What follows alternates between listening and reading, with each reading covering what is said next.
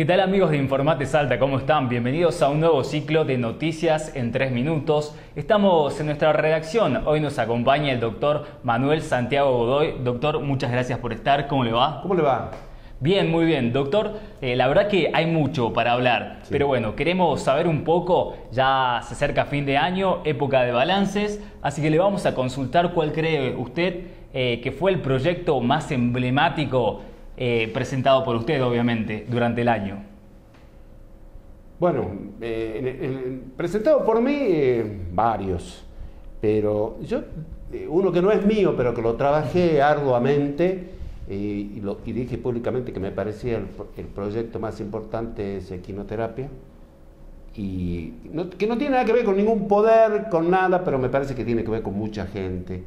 El otro que me parece importante tiene que ver con eh, la fertilización asistida, que eh, va a ayudar a un montón de mujeres que no pueden tener familia y que eso sí el Estado tiene que ver con poder eh, poner la plata necesaria para sus tratamientos y esperemos que muy pronto ya lo aprobemos nosotros, seguramente la, semana que viene. Y el otro, que creo que sí es, yo lo incorporé a la discusión salteña y me parece que eso está bueno, es eh, dos más, el de cannabis, medicinal, absolutamente medicinal, con certificado médico, con historia clínica, que la Cámara de Diputados bancó un, simposio sobre cannabis que se llenó y a partir de ahí la gente se interesó y seguramente el martes tratamos ese proyecto que creo o pretendo que sea un poquito más audaz que el proyecto nacional. Y el otro proyecto, me parece que es eh, un hallazgo, que es el de mecenazgo, que incorporamos a la actividad privada, a la cultura. Es decir, acá siempre el Estado provincial bancó a través del Ministerio de Cultura a todo aquello que quisieran hacer algún, algo que ver con la creación y con el arte. Bueno, ahora nosotros a través de este proyecto queremos incorporarlo a los empresarios de Salta para que eh, apoyen la cultura, desarrollen la idea de algún creador, libros, ediciones, películas, lo que ellos quieran. Eh, se crea un, gran eh, un equipo de gente donde hay más gente de la cultura y algún representante de la Cámara y el Estado ayuda a través de descontarle los impuestos a los empresarios que quieran pagar. O sea que es una conjunción, una coordinación entre Estado y empresarios. Me parece que esos cuatro proyectos podrían, sin lugar a duda, eh, decir que completamos el año, más allá de todos los proyectos específicos. La Cámara de Diputados, hoy fui a una presentación del tema del Observatorio de Violencia digamos, me parece perfecto. Ese es un, proyecto nuestro, una idea de la Cámara de Diputados y que, la, y que los compañeros o compañeras que integran el observatorio rindan cuenta que lo que han hecho es lo que uno espera de todo nuestro proyecto. Así que, eh, conforme.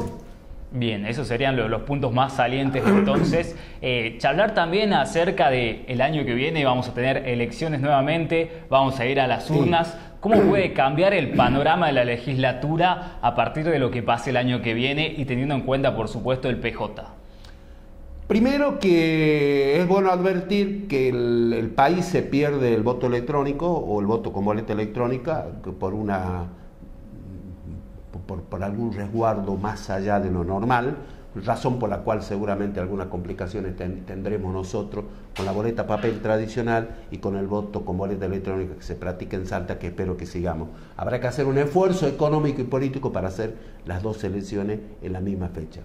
Segundo, entramos en una etapa de normalización absoluta del PJ que ya está normalizado. Tengo la responsabilidad de ser nuevamente presidente de la CAP y vamos a tratar de unir de la Comisión de Acción Política del Partido Justicialista y vamos a tratar de unir a sabienda de que hay mucha gente de este país que está mirando al norte y mirar al norte es mirar a un dirigente de la envergadura, del doctor Juan Manuel Urtubey. En consecuencia, el peronismo de Salta no debe quedarse atrás, debe mejorar, debe mejorar su capacitación, su participación, buscar los mejores dirigentes, que lo tenemos, y las mejores dirigentes que las tenemos, y tratar de trabajar con la gente todo este tiempo, y en abril o en mayo nos sentaremos en una, primero que todo, con, yo siempre digo, con un punto número uno, que es una especie de cooperativa de aplauso entre nosotros y después veremos si llegamos a un acuerdo. Y si no, eh, tenemos los pasos para definir, pero me parece que hay un consenso general de que el peronismo tiene que estar eh, debemos, debemos estar a la altura de las circunstancias de lo que significa Salta a nivel nacional gracias a nuestro gobernador. Bueno, recién me, habló un poco de peronismo, me nombró al gobernador Urtubey. Eh, me voy a extender un poco, me voy a alejar en el tiempo para consultarle también de cuáles, eh, según su criterio, son las posibilidades ciertas del gobernador Urtubey de ser candidato a presidente y a la vez, bajando un poco al orden local, si le gustaría ser candidato también a, gobernador. ¿A, mí? Ah, primero que todo, creo que Urtubey tiene muchísimas posibilidades. Creo que es. Eh, me parece que va a ser la primera vez, yo cuando Urtubey era diputado nacional trabajamos para que Romero sea gobernador y cuando estaba en su mejor momento dijo que no y fue a parar como vicepresidente de Menem. Pero yo advierto, porque lo acompañé a Urtubey a, todo, a un montón de lugares, que Urtubey es, eh, está mirado de otra manera. Me parece que nacionalmente la gente lo ve como un aporte eh, de una persona joven este, no porque sea joven, un estadista que sabe mucho, que conoce mucho y que puede aportar a este país que tanto lo necesita, que tanto necesita esta renovación y fundamentalmente esta consolidación del peronismo. La tarea de Urtubey es consolidar el peronismo nacionalmente y conducirlo. Ese debe ser su eje y ese para mí va a ser más allá de que si lo ayuda Macri, de que no le pone palos en la rueda, eso forma parte de la administración pública que yo no entro a discutir porque hay intendentes y hay gobernadores que necesitan llevarse bien con el gobierno nacional para que les lleguen cosas. Si no, este, esto sería un, Salta sería una especie de páramo. Ya lo fue algunas veces o algunos años con Menem, me acuerdo.